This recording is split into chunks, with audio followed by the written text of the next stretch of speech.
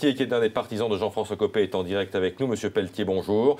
Lorsque l'on entend les mots de François Fillon, on se dit que le rassemblement va être quand même très compliqué.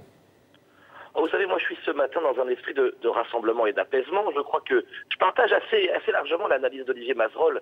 Euh, il y a d'abord une part d'amertume ici ou là qui n'est pas illégitime. Vous savez, ce psychodrame dont on a beaucoup parlé depuis 24 heures est désormais fini. Et moi j'apprécie euh, que dans la dans l'entourage de François Fillon, comme les mots de Jean-François Copé, on soit maintenant dans une perspective d'avenir. L'avenir, euh, Olivier Mazerol l'a dit, c'est comment nous nous opposons avec fermeté, détermination et de manière constructive à cette gauche. Mais quel peut être l'avenir de François Fillon au sein de l'UMP dirigé par Jean-François Copé?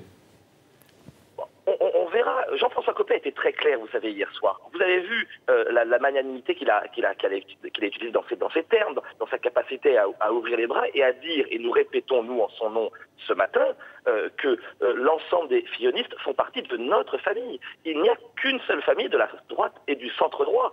Après, chacune et chacun, en fonction de son tempérament, de sa personnalité, peut choisir la place qui lui revient. Mais François Fillon a une place, évidemment, à l'UMP. C'est une évidence. À condition, c'est la gauche. À condition, Guillaume Pelletier, d'accepter cette dérive droitière, entre guillemets, parce que je crois que l'une des, motions, parce qu'on votait aussi pour les motions hein, euh, lors de cette consultation de l'UMP, votre motion, qui est une, motion euh, assez dure, euh, fait partie des motions qui ont remporté le plus de, de scrutins, de suffrages, n'est-ce pas?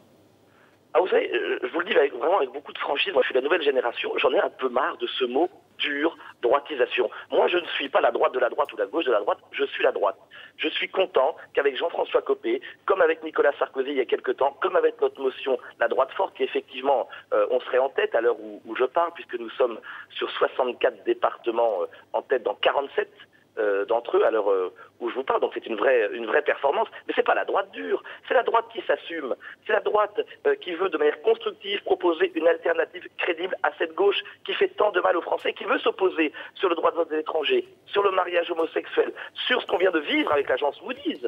Mais mhm. parlons des choses intéressantes tout de même. La France vient d'être à nouveau dégradée. Pourquoi? Parce que la politique du gouvernement socialiste est une politique catastrophique.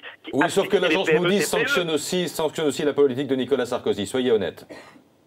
Mais je, vous le dis, je ne me réjouis pas de cette euh, nouvelle qui n'est pas une bonne nouvelle parce que nous sommes avant tout des patriotes. Il n'est pas mhm. question pour moi de dire que c'est que la faute de tel ou tel camp. C'est le résultat, pour être totalement honnête et franc, c'est le résultat de 30 années de politique menée par la droite ou par la gauche qui mhm. n'ont pas eu suffisamment de courage. Il n'empêche, on ne me fera pas euh, dire que Nicolas Sarkozy, de manière incontestable en 2010 et en 2011, malgré des crises violentes, a commencé à engager une politique qui permettait de réduire la dette et les déficits.